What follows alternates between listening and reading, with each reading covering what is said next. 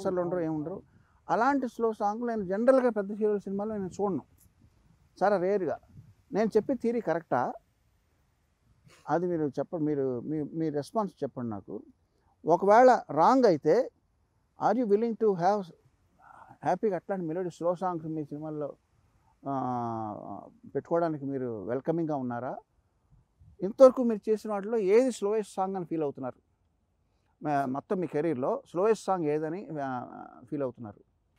Sir ఒకటి మీరేమో first theory ఉందన్నారు కాబట్టి దాన్ని డిసగ్రీ అవ్వకుండా ఉండను. ఎందుకంటే. మీరు చాలా.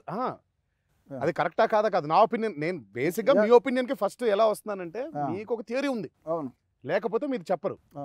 సో మీకు థియరీ ఉంది కాబట్టి మీరు మాకంటే చాలా ఇండస్ట్రీని చూశారు చాలా మంది హీరోస్ని చూశారు. ఇన్ నిజ జీవితంలో మీకు ఎక్స్పీరియన్స్ ఉంది మీకు. ఎక్స్పీరియన్స్. ఉంది అవును అంటే మీరు మా predecessors తో ఇప్పుడు. చిరంజీవి గారితో అవనివ్వండి అటు బాలబాబుతో అవనివ్వండి ఇప్పుడు నాన్నతో అవనివ్వండి అలా నాగార్జున గారు వెంకటేష్ గారు వాళ్ళందరితో చేశారు మీరు సో మీ థియరీని ఫస్ట్ నేను తప్పు పట్టను నన్ను నన్నుగా అడిగితే ఆ థియరీ లేదేమో అని నా నా ఉద్దేశం మనం నిరంతరం సర్జీ వీ కీప్ లెర్నింగ్. మనం వీ కీప్ లెర్నింగ్. అంటే ఒక ఫ్లాప్ సినిమా ఒక పాఠం నేర్పుతుంది.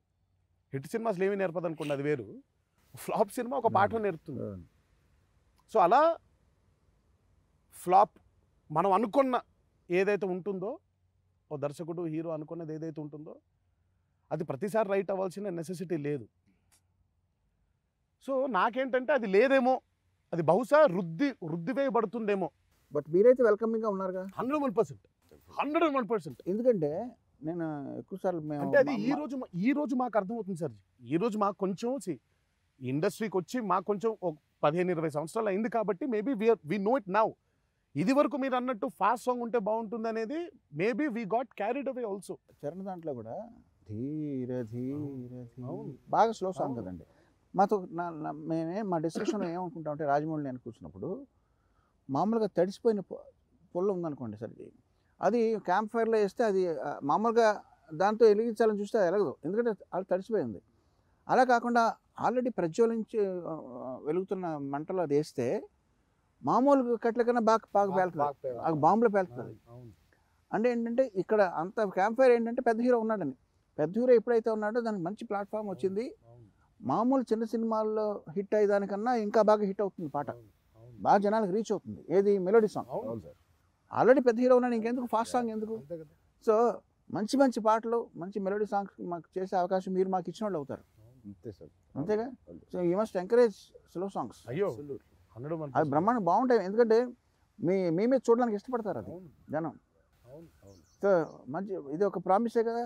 అయ్యో మంచి- మంచి ప్రామిస్ కమిట్మెంట్ ప్రామిస్ ఇష్టమైన ప్రామిస్ ఇష్టమైన ప్రామిస్ సరే మెలోడీ గురించి మాట్లాడాం కాబట్టి ఏదో బాహుబలి సక్సెస్ మీట్లోనే ఎక్కడ ప్రైవేట్ పార్టీలో నువ్వు నాకు ఒక విషయం చెప్పావు. నేను కర్ణాటక మ్యూజిక్ నేర్చుకున్నాను అని చిన్నప్పుడు. కరెక్టేగా అవును సార్.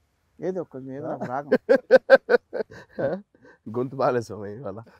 గొంతు బాగాలేదని మేము చెప్పే ఎక్స్ట్రా గొంతు బాగాలేదు లేకపోతే ఇక్కడ ఆర్కెస్ట్రా లేదు. లిరిక్ మర్చిపోయాను. హార్మోనియం. హార్మోనియం పెట్టలేదు పాడతాను సార్. రాగానికి ఏముంది? పాడతాను సార్. అయిపోయి లోపల పాడతాను సార్. అది ఆలోచించుకుని వచ్చి. ఆయన చెప్పినట్టు నా పేర్లతో పాటు పాటలు కూడా గుర్తుండవు. ఎంతవరకు అయింది? వర్ణాల వరకు వెళ్ళిందా? ఆ- పేర్లు ఆ ట్యాగ్స్ కూడా గుర్తులేవండి. హ్యాష్ ట్యాగ్లు వర్ణాల. ఆ బ్లూ బుక్ అయితే ఫినిష్ చేశాను. మీ. షర్ట్ కలర్లో ఉంటుంది ఆ బ్లూ బుక్. ఓహో. ఎన్ని సంవత్సరాలు నేర్చుకుంటారు? Six years. ఎవరు మాస్టర్ ఎవరు? అడక్కడక్క మీరు పేరే అడిగారు. ఇప్పుడు అంటే హైదరాబాద్ అయినా చెన్నైలో ఒక ఆయన ఉండేవారండి. హైదరాబాద్లో ఒక ఆయన. నేను మా అక్క నేర్చుకునేవాళ్ళని ఆ, నాదేదో సుమారుగా బాగానే ఉండేది. ఆవిడ మాస్టర్ మాత్రం ఒక రెండు నెలల తర్వాత మా మమ్మీతో సురేఖమ్మ మా అక్కని ఆవిడకి సెపరేట్ నేర్పిద్దామా? ఈయనకి సెపరేట్ నేర్పిద్దాం ఏమంటే ఆవిడకి రాగాలు శృతులు తెలియట్లేదు. మా అక్కకి. అమ్మో చంపేస్తుంది ఇప్పుడు చెప్పి సో ఆవిడతో మానిపించాల్సిన టైంలో నేను కూడా మానేశానండి. బట్ చాలా ఎంజాయ్ చేసిన ఇది. దానివల్లే మీ ఒకరికొకరు కానీ మీ మెలోడీలు కానీ బాగా నేను కనెక్ట్ అవ్వడం జరిగింది. అక్కడ ఫాస్ట్ బీట్లు ఉండవు కదా. ఒకసారి హైవేలో కార్లో వెళ్తుంటే వెనకాల వల్లి ఉంది. నేను ఫ్రంట్ సీట్లో కూర్చుని అలవాటు. చాలా ఫాస్ట్గా వెళ్తా అంటే హండ్రెడ్ వన్ ట్వంటీలో వెళ్తున్నాడు డ్రైవరు ఒక బైక్లో ఒకడు హెడ్ ఫోన్ పెట్టుకుని ఏదో పాటలు వింటూ